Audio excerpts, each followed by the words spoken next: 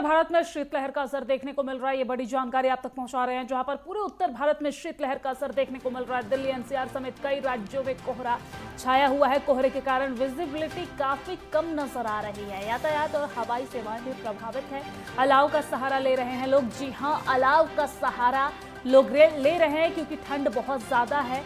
कोहरा छाया हुआ है। यातायात भी पूरी तरीके से प्रभावित है, चाहे वो हवाई सेवा हो या फिर रेल सेवा हो। हर कुछ पूरी तरीके से प्रभावित है। विजिबिलिटी कम होने की वजह से यातायात पूरी तरीके से प्रभावित है। बड़ी जानकारी आप तक पहुँचा रहे हैं, जहाँ पर कई राज्यों में घना कोहरा छाया हुआ है। दिल्ली, एनसीआर समेत कई राज्यों में घना कोहरा छाया हुआ है। दिल्ली, एनसीआर, हरियाणा, पंजाब, उत्तर प्रदेश, बिहार, कई राज्यों में घना कोहरा छाया हुआ है। पूरे उत्तर भारत में इसका असर देखने को मिल रहा है। ये बड़ी जानकारी आप तक पहुँचा रहे हैं, जहाँ पर उत्तर भारत में शीतलहर का असर देखने को मिल रहा है। दिल्ली, एनसीआर समेत कई राज्यों में कोहरे का असर देखने को मिल रहा है। ये तस्वीरें आप देख सकते हैं, जहाँ पर पूरे उत्तर भारत में कोहरे का असर देखने को मिल रहा है। अलग अलग जगह से ये तस्वीर आपको दिखा रहा है। ये देखिए, पहले तस्वीर दिल्ली से, दूसरी तस्वीर लखनऊ से, तीसरी तस्वीर ग्वालियर से और चौथी तस्वीर अयोध्या से, जहाँ पर पूरी तरीके से कोहरा छाया हुआ है। घने कोहरे में जनजीवन पूरी तरीके से अस्त व्यस्त है। यातायात भी प्रभावित है। सड़कों पर लोग नज़र नहीं आ रहे हैं। घर में दुबक्के नज़र आ रहे हैं क्योंकि ठंड बहुत ज़्यादा है। लोग अलाव का सहारा ले रहे हैं। यातायात प्रभावित है क्योंकि विजिबिलिटी काफ़ी कम है।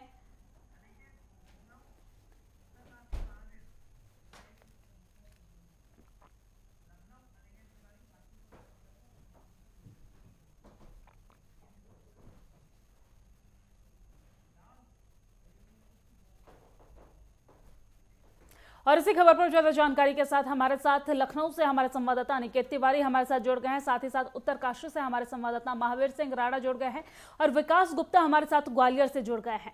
सबसे पहले अनिकेत, आपके पास आते हुए जिस तरीके से हमने अपने दर्शकों को तस्वीर भी दिखाई कि किस तरीके से लखनऊ में घना कोहरा छाया हुआ है, शीतलहर का असर हर जगह देखने को मिल रहा है। क्या कुछ पूरी जानकारी है लखनऊ को लेकर, किस तरह की तस्वीरें देखने को मिल रही है इस वक्त, बताइए। दिव्या देखिए, अगर बात की जाए राजधानी लखनऊ की तो जो मौसम है वो लगातार अपनी करवट बदलता हुआ नज़र आ रहा है। सफ़ेद जो चादर है कोहरे की वो पूरी तरह से छाई हुई साफ़ तरफ़ नज़र आ रही है। हालाँकि अगर दिन की बात की जाए तो दिन में ज़रूर ये जो कोहरा है वो छट्टा हुआ नज़र आता है, लेकिन शाम होते होते जो सफ़ेद कोहरे की चादर है, वो पूरी तरह से कहीं ना कहीं आसमान में देखने को मिलती है। और हालाँकि अगर बात की जाए विजुअलिटी की, दिव्या तो लगातार जिस तरह से घना कोहरा हो रहा है, उससे जो विजुअलिटी है, वो लगभग शून्य तक पहुँच रही है।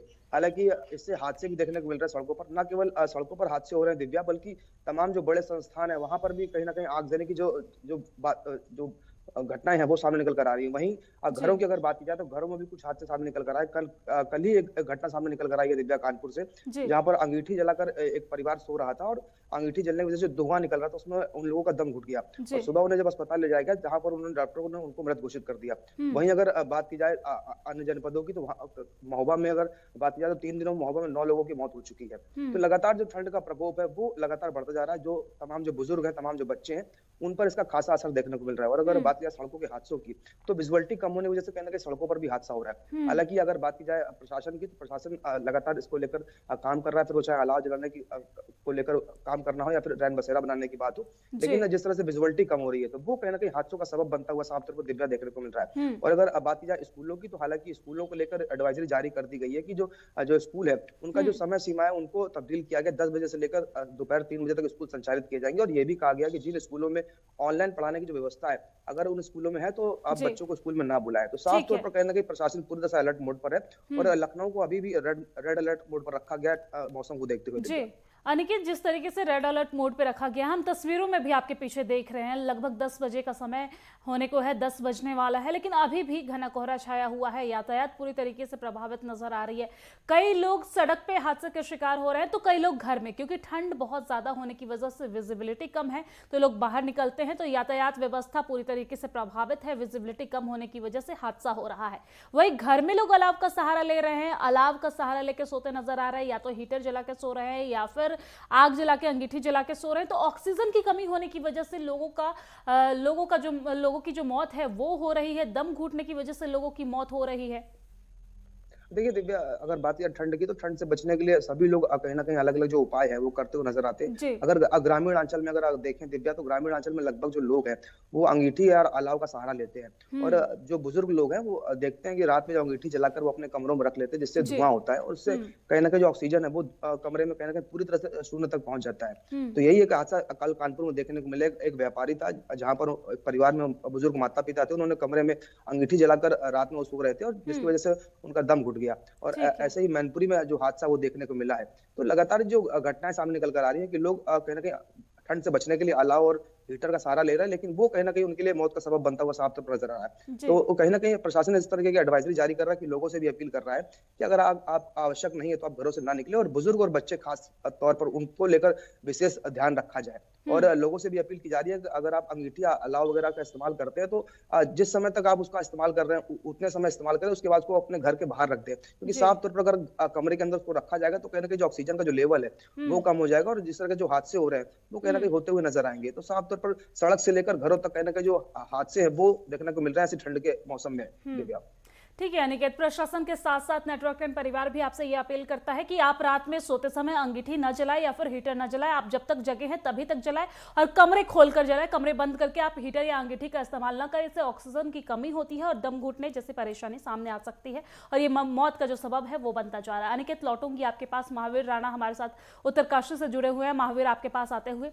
उत्तरकाशी में किस तरह की तस्वीरें देखने को मिल रही है? क्योंकि पूरे उत्तर भारत में जिस तरीके से शीतलहर का असर देखने को मिल रहा है, उत्तरकाशी में किस तरह की तस्वीरें बिल्कुल निश्चित पूरे उत्तर भारत में ठंडा लहर है और जो है मैं बता दूँ उत्तर काशी की जब तक बात है पहाड़ी शाम की जो कड़ाके की ठंड है वो लगातार जारी है और हम्म। दिन में थोड़ा सा आसार मिल रहे हैं मगर फिर भी जो मैं बता दूँ क्योंकि जो बारिश नहीं हुई है बारिश न होने के कारण जो जंगलों में अभी भी आग लगी हुई है कई जंगल ऐसे हैं जो अभी धू धू करके जल रहे हैं। उनके कारण जो धुआँ है वो थोड़ा दिक्कत कर रहा है यहाँ पे।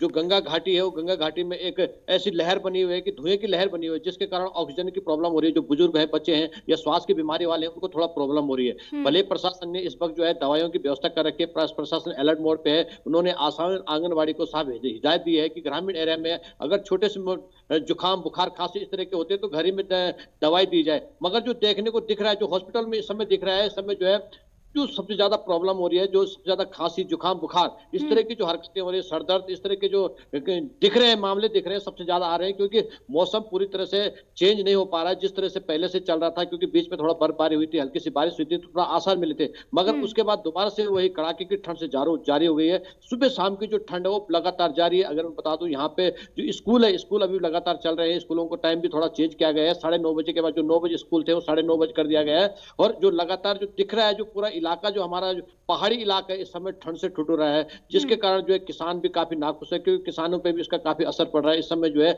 आलू की खेती लोग लगा रहे हैं आलू इस समय कच्ची फ़सल होता है उसकी तैयारी पे लगे हुए मगर जो बारिश न होने के कारण जो है वो थोड़ा सा दिक्कत कर रहा है और आज शाम सुबह की जो ठंड है वो लगातार जारी है। जो बागवानी से संबंधित लोग हैं वो भी काफ़ी नाखुश है क्योंकि बर्फबारी न होने के कारण इस बार जो है बागवानी पे भी काफ़ी असर पड़ने वाला है। जी दिव्या। ठीक है सेहत के साथ साथ कहीं ना कहीं खेती पर भी इसका असर देखने को मिल रहा है। लौटूँगी महावीर आपके पास ग्वालियर से हमारे संवाददाता विकास भी हमारे साथ जुड़े हुए हैं।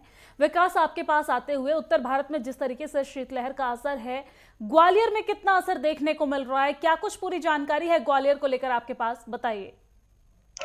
जी दिव्या बता दें आपको कल जो 24 घंटे का मौसम रहा है वहाँ कल मध्य प्रदेश राजस्थान यूपी यानी चंडीगढ़ चंडीगढ़ हरियाणा और दिल्ली तक ना सबसे ठंडा मध्य प्रदेश रहा है कल। हम्म। कल जो विजिबिलिटी है 4.6 की नाइट की जो आकी गई है और विजिबिलिटी की बात करें तो ये विजिबिलिटी इतनी है कि 100 मीटर तक का जो गाड़ी चलाने में लोगों को दिक्कत आ रही है हम्म। जो हाईवे पर है वो ट्रैफ़िक काफ़ी न जो स्पीड गाड़ियों की सौ स्पीड पर चलती थी वो साठ डिग्री सात की स्पीड से चलानी पड़ रही है साठ चालीस की स्पीड से रेंग रही है गाड़ियाँ जो कि स्पीड से चलती थी गाड़ियाँ हाईवे पर भी हम्म। वो रेंग रेंग कर चलनी पड़ रही है। स्कूली बच्चों की बात करें स्कूली बच्चों को 11 बजे का टाइम कर दिया गया है 11 बजे से तीन बजे तक का स्कूल का टाइम कर दिया गया है। विजुअलिटी इतनी कम हो चुकी है कि इस बार मध्य प्रदेश में जो 20 साल का रिकॉर्ड है वो टूटा है क्योंकि जो सीवियर कोल्ड डे है वो इस बार तेरह सीवियर कोल्ड डे हो चुकी है और कोल्ड डे सात हो चुकी है। मतलब कोल्ड डे सात होना और सीवियर कोल्ड डे यह काफ़ी एक चिंताजनक बात है। जी। क्योंकि लोगों को यहाँ काफ़ी परेशानी का सामना करना पड़ रहा है ये ठंड से और अभी भी दस बज रहे हैं मगर ये जो ठटन वाली ठंड सर्द हवाएँ वो लगातार जारी है और सूरज निकलने का नाम नहीं ले रहा है। जी दिव्या। विकास वहाँ पर प्रशासन की तरफ़ से किस तरह की व्यवस्था की गई है? क्योंकि ठंड बहुत ज़्यादा है। जी दिव्या बता दें आपको कि प्रशासन की तरफ़ से यहाँ पूरी व्यवस्था है। या रैन बसेरे की बात करें या चौराहे की बात करें वहाँ आलाप जलाया जा रहा है। रैन बसरों में कंबल डबल दिए जा रहे हैं। रैन बसरों पे जो बाहर रोड पर सोते हैं जो गरीब मजदूर लोग हो चाहे जो भिखारी हो जो भी उनको रैन बसेरे में रात में प्रशासन की तरफ़ से गाड़ियाँ घूमती हैं, जिला अधिकारियों की स्टीम पर लगे रहती है, कोई बाहर सोता हुआ नज़र ना आए। अगर सोता हुआ नज़र आता है तो उनको रैन बसेरों में या उनको सुरक्षित स्थान पर पहुँचाया जा रहा है और नहीं तो उनको आलाप की व्यवस्था की जा रही है। जी दिव्या। ठीक है, विकास लौटोंगे आपके पास। हमारे साथ है ईशा ठाकुर, हमारे संवाददाता चंडीगढ़ से, वो भी हमारे साथ लाइव जुड़ गई है। ईशा, आपके पास आते हुए चंडीगढ़ में किस तरह की तस्वीरें देखने को मिल रही है? क्योंकि उत्तर भारत में जिस तरीके से शीतलहर का असर है कहीं ना कहीं चंडीगढ़ में भी बहुत ज़्यादा ठंड है। किस तरह की तस्वीरें क्या कुछ जानकारी चंडीगढ़ को लेकर बताइए।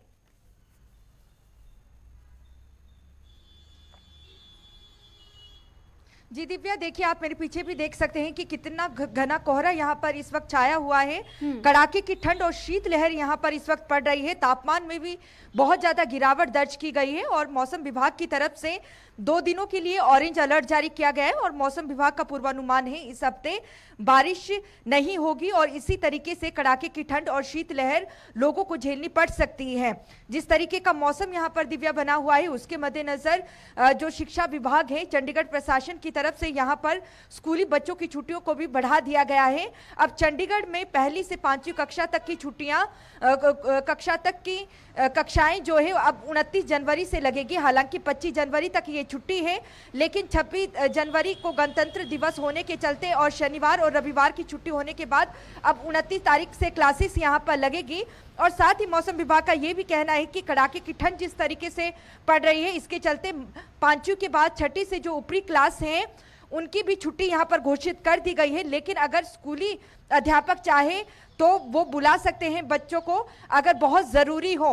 अन्यथा ऑनलाइन क्लासेस ली जाएगी। अगर स्कूल में बच्चों को बुलाया जाता है छठी कक्षा से ऊपरी बच्चों को तो जो स्कूल है साढ़े नौ बजे से खुलेंगे और चार बजे तक ही, साढ़े चार बजे तक ही क्लासेस लगेंगी, क्योंकि उसके बाद बच्चों को स्कूल में रखने के लिए बाध्य नहीं होंगे, क्योंकि कड़ाके की ठंड यहाँ पर पड़ रही है। दूसरी तरफ़ अगर अगर हम हरियाणा की बात करें तो हरियाणा में भी इस वक्त कड़ाके की ठंड पड़ रही है। और हरियाणा सरकार की तरफ़ से भी जो स्कूल क्योंकि आज की अगर बात करें तो हरियाणा में स्कूल आज से खुल रहे हैं जी तो ऐसे में जो स्कूल है वो साढ़े नौ बजे से खुलेंगे और साढ़े तीन बजे छुट्टियाँ हो जाएगी हम्म। क्योंकि कड़ाके की ठंड लगातार यहाँ पर पड़ रही है और मौसम विभाग का कहना है इससे फ़िलहाल एक हफ़्ते तक किसी तरीके की निजात नहीं मिलेगी जी दिव्या हम्म। ठीक है, चंडीगढ़ में जिस तरीके से हम तस्वीरें देख रहे हैं आपके पीछे ईशा, यातायात भी पूरी तरीके से प्रभावित नज़र आ रही है और हालाँकि प्रशासन की तरफ़ से भी ये लोगों से अपील की जा रही है कि ज़रूरत पड़ने पर ही घर से बाहर निकले।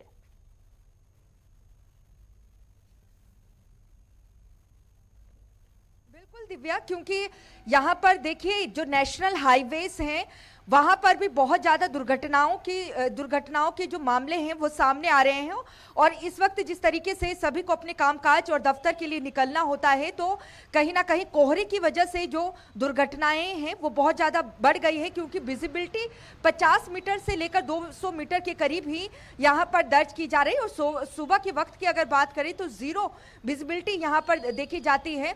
हालाँकि इसका जो असर है, वो उड़ानों पर भी पड़ा है।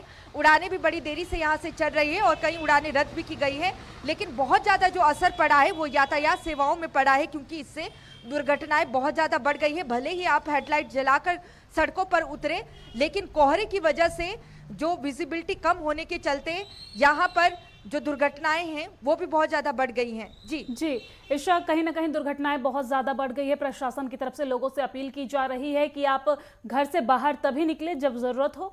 हम भी आपसे, हम भी प्रशासन की तरफ़ से जो अपील की जा रही है, हम भी ये कहना चाहते हैं अपने दर्शकों से कि ज़रूरत पड़ने पर ही घर से बाहर निकले, अन्यथा घर से बाहर ना निकले। जो हृदय संबंधी रोगी हैं या फिर जो बच्चे हैं, जो बुज़ुर्ग हैं, वो अपना विशेष ख्याल रखें क्योंकि ठंड बहुत ज़्यादा है। शुक्रिया आप सभी लोगों का हमारे साथ जुड़ने के लिए और तमाम जानकारी साझा करने के लिए।